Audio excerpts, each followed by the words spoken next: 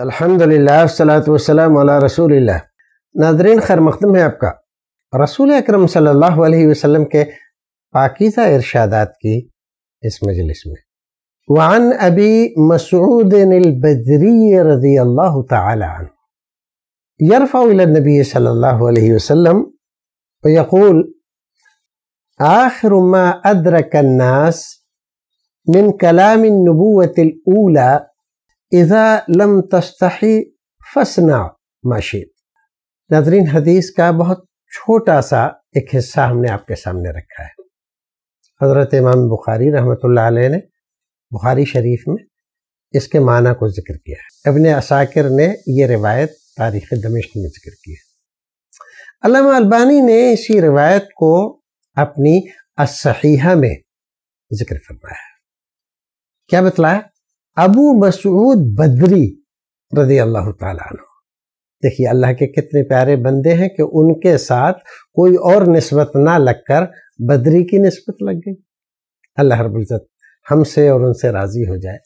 बयान करते हैं कि रसूल अकरम ने फरमाया, पुराने अम्बिया कराम की तालीमात में से जो चीज़ें लोगों की ज़ुबानों पर बाकी रह गईं, उनमें एक ये बात है।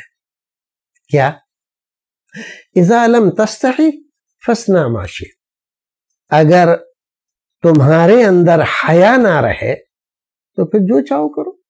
वरना हया इंसान को हर बुरी बात, बुरी मजलिस, बुरे शख्स, बुरी संगत और बुराई से रोकने के लिए काफ़ी है। सिर्फ़ हया। कोई और चीज़ नहीं। एक आदमी बाहया हो, बेशर्म ना हो, शर्मीला है तो आप देखेंगे कि उसकी ज़ुबान से गालियाँ नहीं निकलती। वो फूहड़ गालियाँ जो हमारे यहाँ लोग आमतौर पर बकते हैं और अपनी बहादुरी और दादागिरी की सनद समझते हैं उसको। माँ की, बहन की, और हमारे यहाँ दिल्ली, ओहो हो हो। अल्लाह माफ़ करे। दिल्ली वाले तो वो नंगी और फूहड़ गालियाँ बकते हैं, माँ को और बहन को शामिल करके कि शायद दुनिया में ऐसी गालियाँ कहीं नहीं बकी जाती। और लोग भी गालियाँ बकते हैं। हमारे हिंदुस्तानी समाज में, यहाँ के बड़े बड़े शहरों में अलग अलग किस्म की गालियाँ देने, बकने का एक आम चलन है। लेकिन दिल्ली में जो गालियाँ दी जाती है, बकी जाती, जो करखंदार अपने मातहतों, मुलाजिमों और उनसे डीलिंग करने वालों के साथ जिनका इस्तेमाल करते बेमहाबा।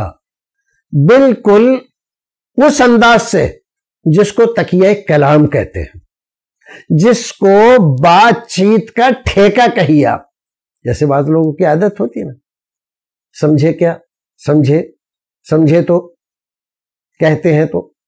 हाँ तो ये जो ठेके होते हैं ना, ऐसे ही यहाँ दिल्ली वाले माँ बहन की गालियों को इस अंदाज से देते हैं कि जर्रा बराबर भी उनको शर्म हया नहीं होती। न आँख में, न ज़ुबान पे, न दिल में, कहीं भी नहीं।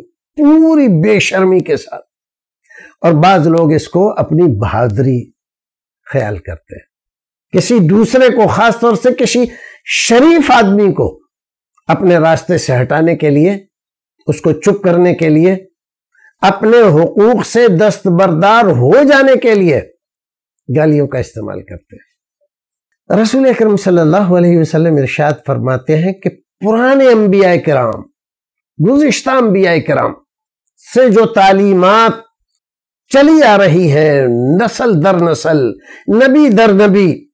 उनमें से ये तालीम गोया के ये रसूल अक्रम सल्लल्लाहु वसल्लम की बताई हुई नहीं। पहले से चली आ रही है अम्बिया कराम से और आपने भी उसकी तायद फरमाई कि आदमी अगर बेशर्म हो जाए तो फिर उसको बुराई से कोई नहीं रोक सकता। बुरी मजलिस में जाने से कोई नहीं रोक सकता। बुरी संगत इख्तियार करने से कोई नहीं रोक कोई भी बुराई उसके नज़दीक बुराई नहीं रह जाती है, जब आदमी बेशर्म हो जाए। तो क्या आप गौर करेंगे अपने ऊपर? आप क्या हैं? बाहया, शर्मीले, हयादार या बेशर्म, फक्कड़? ज़ाहिर है दोनों में फ़र्क तो आपको भी समझ में आता होगा। हमें भी समझ में आता है। तो कोशिश करें कि रसूल अकरम सल्लल्लाहु ने जो इरशाद फरमाया है, जिसकी तारीफ़ की है, उस गुरु की तरफ़ हम आए और जिसकी बुराई की है, उससे हम अपना नाता तोड़ लें। अल्लाह रब्बुल इज़्ज़त हमें आपको नेक अमल करने की तौफीक अता फरमाए। अस्सलाम वालेकुम व रहमतुल्लाहि व बरकातहू ऐसे ही और वीडियोस बनाने में हमारी मदद करें।